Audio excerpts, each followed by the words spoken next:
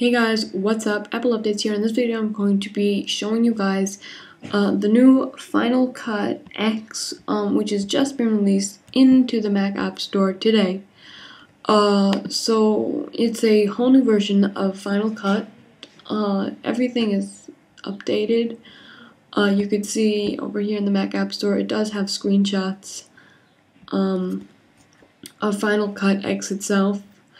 Um, eventually, I will get Final Cut, but uh, not right now, um, because I don't really have $300 to spend on an application.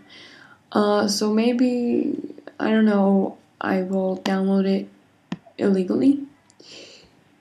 Uh, so stay subscribed, stay tuned for that video, how to get it illegally.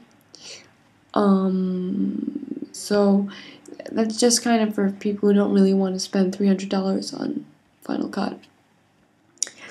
Um, but yeah, so I hope you enjoyed this video. Don't forget to subscribe for more. Thanks for watching. Goodbye.